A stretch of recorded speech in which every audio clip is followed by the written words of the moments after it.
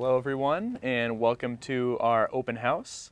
My name is Michael Moyes, and I'm a student advisor here at Berklee Music, the online division of the Berklee College of Music. And today, as you all know, we're here to talk about music supervision with Brad Hatfield. Uh, what we're going to do today is we're going to have about 20 minutes where Brad's going to talk a little bit about music supervision. I'm going to field, uh, or I'm going to ask him a few questions here and there. And after that, we're going to open it up to questions for you guys. So while we're doing this, you can keep typing questions to us, and I'll relay, relay some of those to Brad uh, once we wrap up, and we'll go from there. So I'd like to introduce Brad. Uh, Brad Hatfield is an Emmy Award winning uh, songwriter.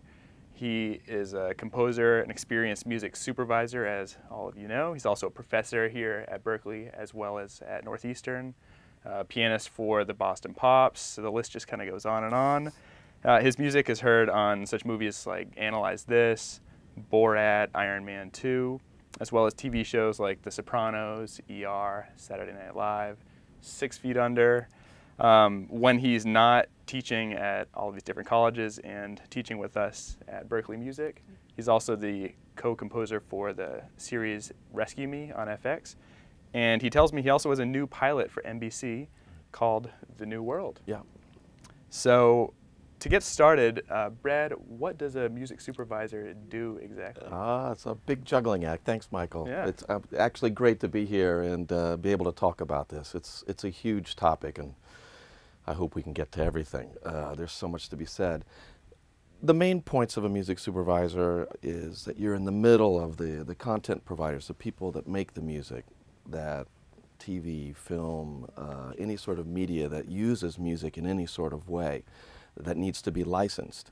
So the music supervisor really stands in the middle of all this. So you've got the content providers and then you've got the producers of the TV shows, the films, the video games, um, even uh, environments that, that you walk into where music is piped in. Uh, uh they, they have to have somebody that's got the network and the set of skills to license that music and also make it a good fit for the producers and help brand the show or make the scene very believable. So it requires an awful lot of knowledge of lots of different kinds of music. Uh, you would think and you would hope, boy, can we just pick our favorite stuff and say, hey, try this. But most jobs require that you have to follow along with where the show is going and if there's a flashback, suddenly you have to do music from the 50s or the 60s or 1920s. So it's like Boardwalk Empire, a great example of that. Mm. And at the same time, you get uh, movies like uh, that Alex Patsavas works on, where you've got the latest breaking indie acts. So um, it really covers a wide gamut. Besides that basic thing of the creative uh, suggestion of music that's going to work for the producers and the licensing of all that, there's a lot to be dealt with within relationships of all the layers of folks that you're answering to and also the folks that you're communicating with to make sure that all these licenses uh, get executed properly and all the rights owners are, are tied in. So you have to have some pretty good personal skills and uh, you need to remain calm because things get a little tense, especially in TV where we have a really short uh, turnaround um, for needs of the music and and folding it in. Um, a degree of knowledge about the technical uh, parts of, of music, even just sample rates and uh, uh, bit depth and things like that when you're accepting uh, music that comes in, even though that usually falls to the music super uh, music editors -huh. um, uh, degree. It's you'll be surprised how many times a music editor becomes a music supervisor or a producer becomes a music supervisor. I just feel like you have to know everybody's job in the sort of post-production world and you have to be able to communicate well uh, with them, be able to listen and find out what they need and then, then go get it and mm. tidy it up.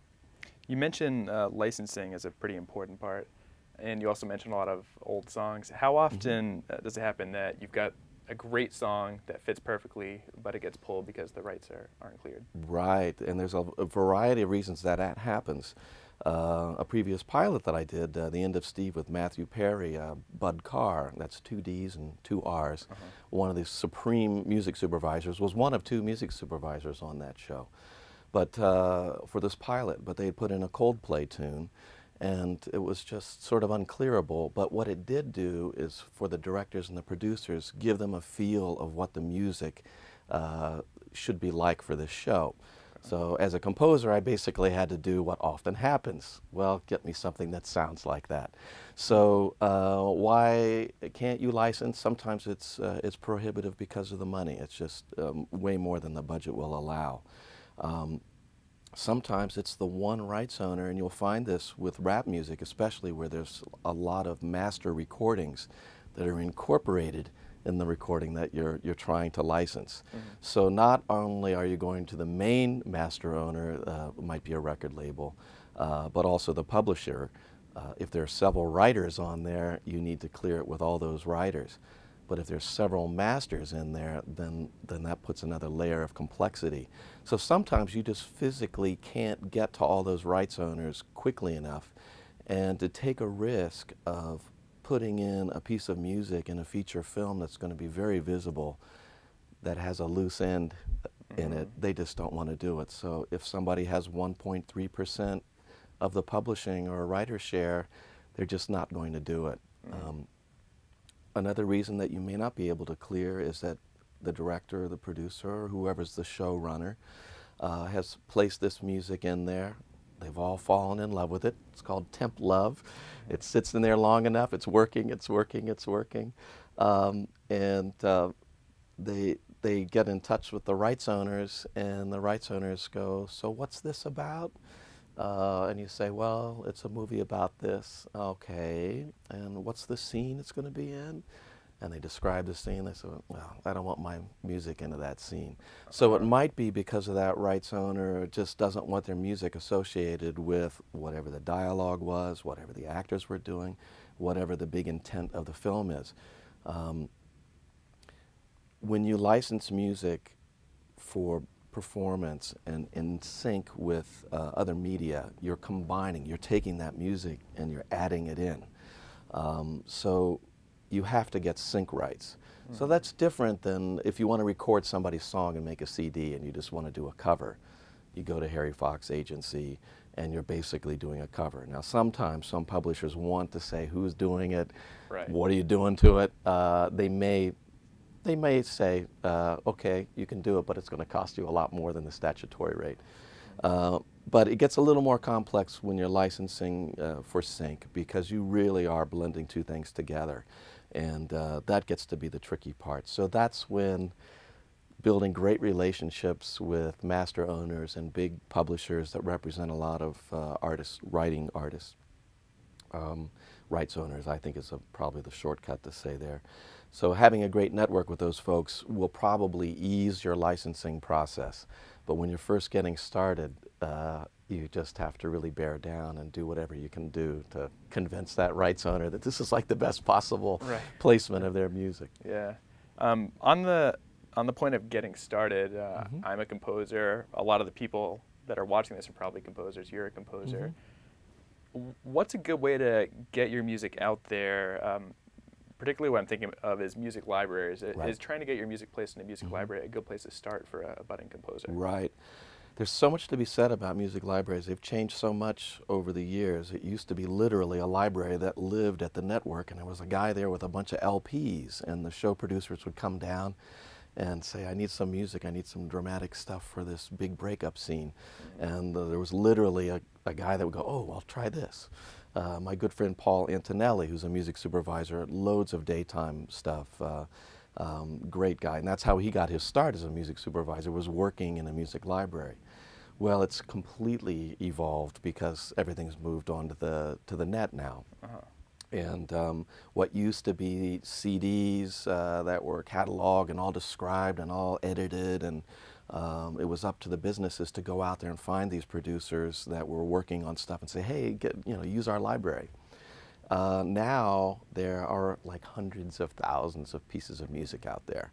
So the word about music libraries are, or song catalogs, if I'm going to be a little more shishi about it, um, is that if you're going to take a stab at that, you want to affiliate yourself with a library that has some kind of a bar that you have to get over before you get in. If you just put your music up to a place that's a digital shelf, Mm. maybe somebody stops by. But if that digital shelf is also filled up with a lot of rejects and cutouts, as it were, Right. uh, anybody that really is interested in the music that might be in your genre, that where you're categorized, uh, are going to just go, eh, I don't think so, and they're not going to go back. So I guess the advice is to uh, budding composers and songwriters is to research these libraries. Um, and I believe there's one called musiclibraryreports.com, I believe that's correct, uh, that does list a lot of reviews um, from songwriters and composers that have had placements or not had placements or how they dealt with the, the uh, company. And that will give you some sort of information. But you really want to uh, get aligned with somebody that has incentive to place your music, which means they make money when you make money. Mm-hmm. So my publisher makes more money than I do when my things get placed. There's a little admin fee that they have there. So they always make more money than I do, but you know what? I don't care because I'd rather make uh, 50% or 45% of something than 100% of nothing.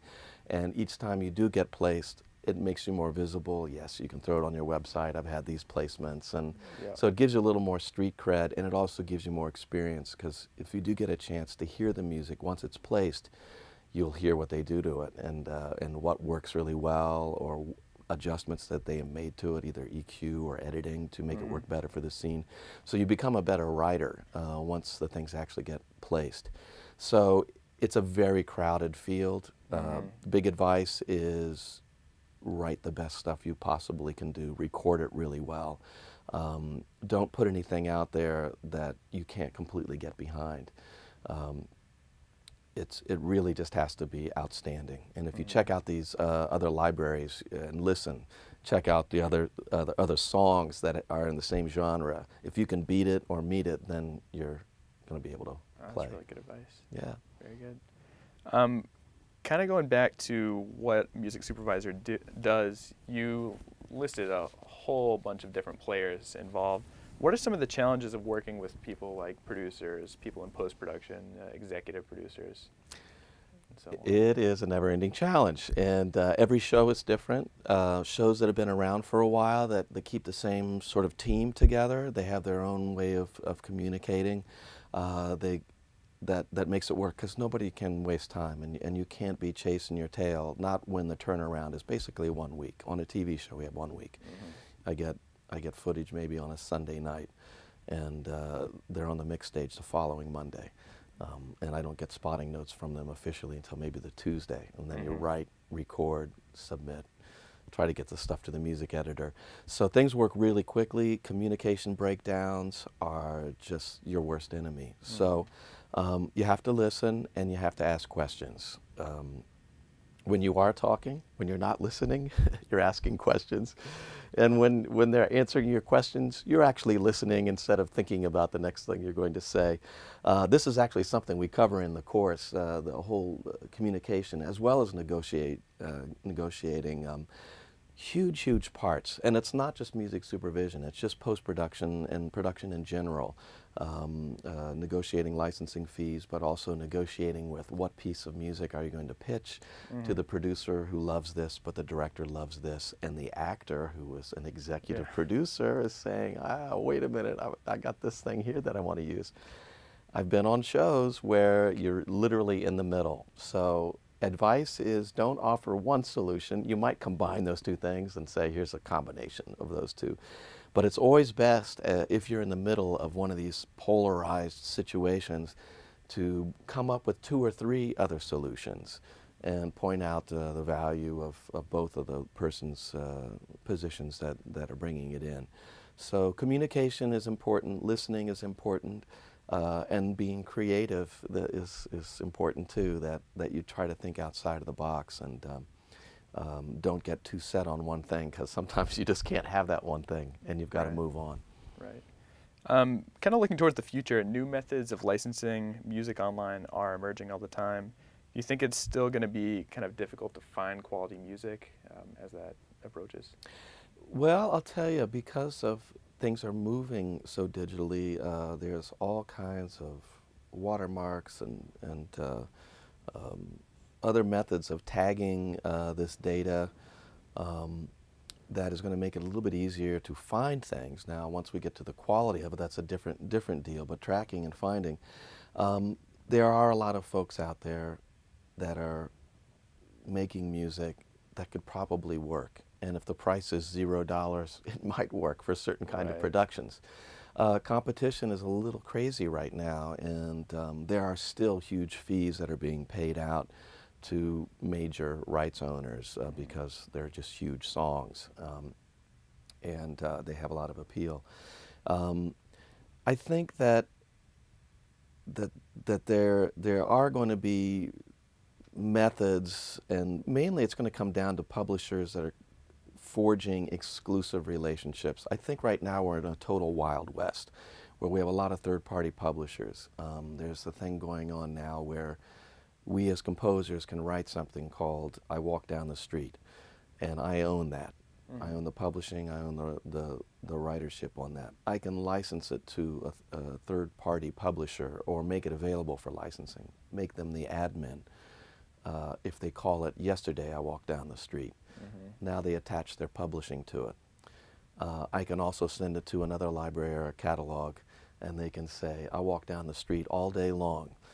They attach their publishing to it. It's the same exact song Yeah. in three different places. I, I think that one thing is going to clear out is that producers and music supervisors are getting kind of overwhelmed with we put out an APB, we need this kind of a song coming out of a jukebox in the Midwest in 1972, and you get 15 songs come in, and seven of them are the same song but seven different titles. So I do believe that things have to get they're going to get squashed down a little bit. I, I, I'm a firm believer in the strong will survive and that good quality music will move forward. I think that there's, uh, I think in the, the good part of this, Michael, is that I think we're going to challenge ourselves to make the best music possible and, and produce it uh, to a higher level. And those folks are going to punch through.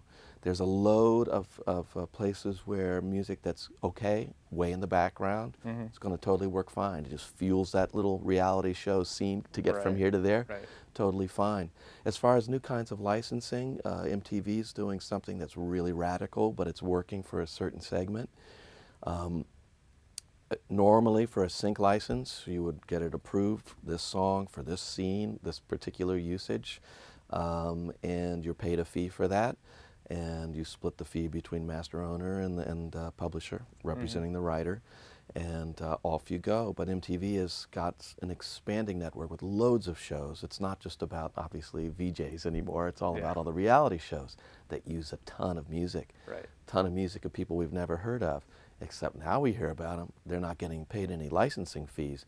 But what they are getting is that screen crawl at the bottom. Right. I've seen that. Yeah, absolutely. And uh, usually the name of the artist, the song, Mm-hmm. usually where you can download it from as well. You go to MTV's site for that particular show, this particular episode, bing, bing, bing, bing. These are all the songs that were used there. Here's a direct link to the artist's website or iTunes or Amazon Mhm. to download. So that's your revenue stream. So it'll be interesting to see if that ever recovers because it, it is a zero dollar deal right now. Right. Uh, and it's blanket, meaning that they can use that song in any MTVN uh, network uh, programming and anything. And that's the deal you oh, sign. I didn't realize that. Oh, absolutely. That's what makes it so unique. It's not just the one show, that one thing. They basically say if you sign this over to us for the sum of one dollar and due consideration, Uh-huh. promotional consideration, um, that we're free to do this. It drives more people to the live venues when Yeah. you go because the recognition is there. You are going to sell more. Um, it's a different way of doing business. I can only see more things like that happening. Mhm. Um, uh, but the bottom line is you do have to be a good negotiator, and I think you have to do what's fair, but you also have to do what works for you. Um, all these deals are non-exclusive Mhm. uh, while they're in force, so you can usually get out of them after a certain point. You can pull the plug and say, I, I got a record deal. Right. The folks that just signed all my material are not into this. Yeah. So the, uh, you've got ex, you know, there's there's a way out of these kinds of agreements. But for being visible and getting on the map, hey, I had my I had my song in uh, Jersey Shore, whatever. Sure, sure, sure. So then now you've got a little credit. So that Awesome. helps. Well, if you're okay, we've got some good questions that have been coming Okay. in. If we can ask some from Sure, the uh, absolutely. from the students over there. Uh, David Ashford um, has this question: I want to offer songs and music tracks within a stylistic format. Uh, what are your thoughts on going through a music publisher or going direct to a supervisor? Right, right. If you go directly to a music supervisor, here's the thing, uh, Alex Patsavas, and by the way, I have loads of interviews uh, with folks like uh, Lindsay Wolfington from uh, One Tree Hill and Alex Patsavas, who is the queen of music, reigning queen of music supervision right now. Uh, also, uh, some daytime folks. Um, I, have got loads of interviews with folks, and uh, they talk about how they like to see the music coming in. Alex prefers hard copy. She likes CDs mailed to her, but if you're going to submit to her, she wants to know that you're submitting music that works for the shows that she's working on. Um, uh, so you can't just send really good music that has nothing to do with the shows that she's got going. Uh, if you see, see that she's in pre-production uh, on a new show uh, and you want to pitch to that, um, that often happens. When Boardwalk Empire was coming up on the grid, believe me, there was a lot of music from the 1920s and 30s that was being written and pitched directly to the show, uh, as well as through a publisher. So I don't really have um, great advice for you in terms of which way you can go through because there are a lot of people pursuing it. Most of the stuff does get listened to by different music supervisors. I would spend time and money reading about those music supervisors as much as you possibly can to get a feel for how they like to see stuff come in.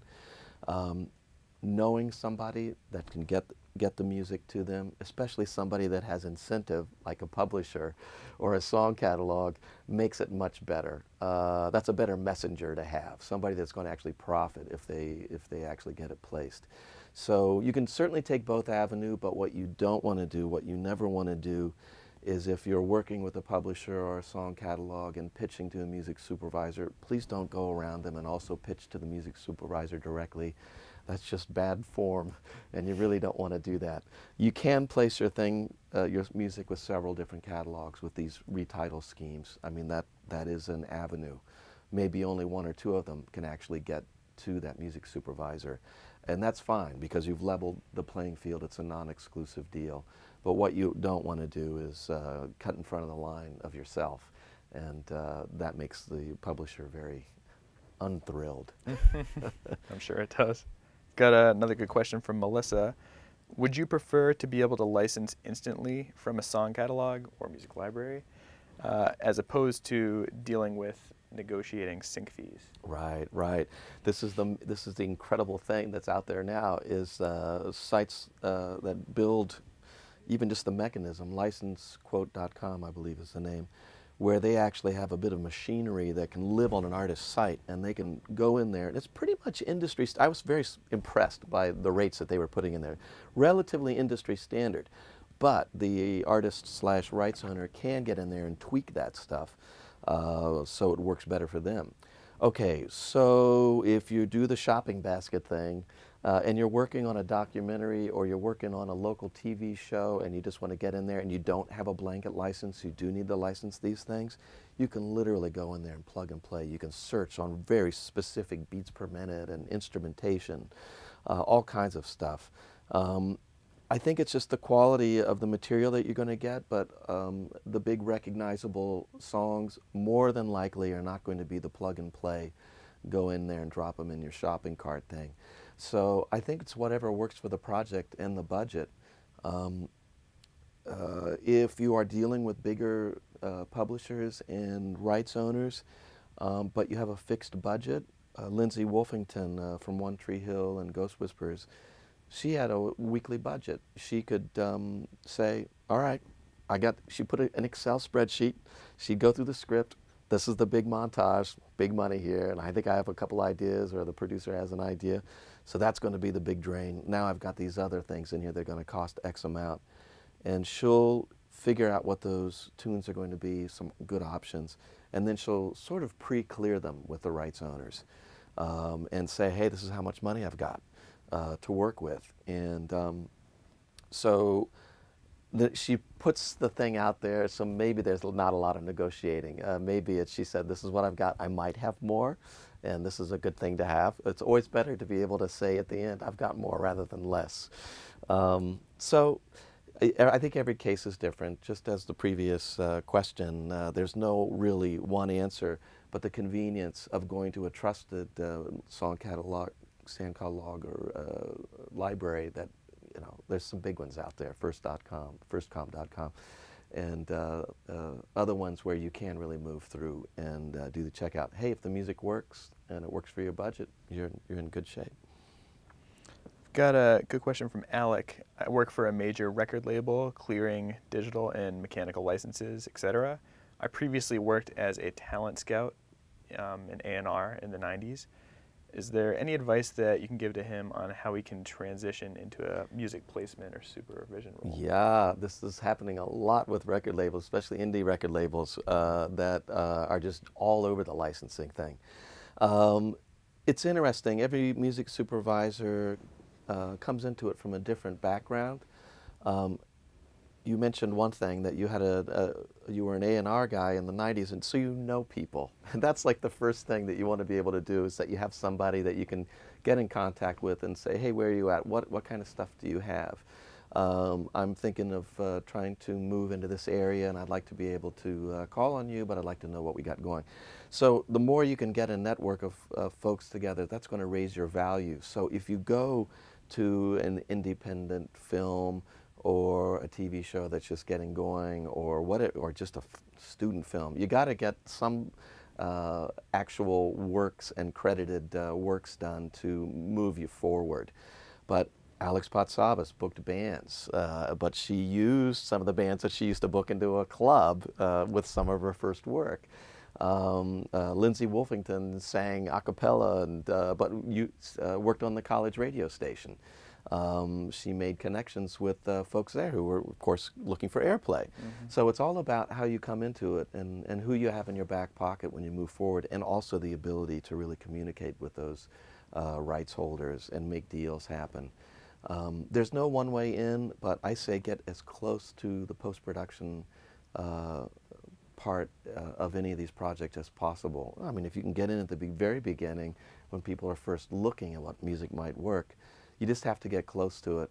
Um, and I think it's important that it's very clear that, that the, course that we're, that we're running here, the music, supervisor, music supervision online course, is not just to turn you into a music supervisor. That, that's not the intent. The intent is to educate you about all these different things that where music uh, supervision has an impact. So whether you're a publisher or a music editor or a re-recording engineer that's um, working on the dub stage and there's no music supervisor on the project, or you're a picture editor. Understanding the mechanics of all this will allow you to be able to function that way, and maybe you can sort of double dip and be two different things. Uh, or work that into your contract. I, I am now assuming these extra roles. So this course is really about songwriters, publishers, even directors and producers, music editors, uh, re-recording mixers, um, record companies, all these folks that need to understand how the mechanism works and what's at stake, timelines, um, sort of industry standard uh, contracts which we use throughout the course. We're using all the, the real deals. Uh, moving through a cue sheet, what needs to be on there, uh, who makes those decisions, who double checks them, please, somebody check the cue sheet. Um, so that was a long answer to your question, but coming in from your background, I think is just a great benefit, and you just have to get around productions so you can bring your assets to the table. Yeah. Just have one more quick question since we've kind of gone over the time here, if that's okay. Yeah, that happens. Yeah, this one, this one is a good one. It's from Simon. Uh, what's the best place to go to find out what new shows are in production and who the music oh, yeah. supervisors are. Yeah, IMDb Pro. Um, there are other things that you can get on. Uh, Hollywood Reporter uh, has got another subscription uh, service that you can get in on, and I can't give you that URL, but uh, I believe it's that's kind of where you'd want to go. But IMDb Pro, I forget what I'm paying for that. It's 150 bucks a year, something like that but you get great and you get contact information because I get people calling me all the time. How do I get in touch with so and so?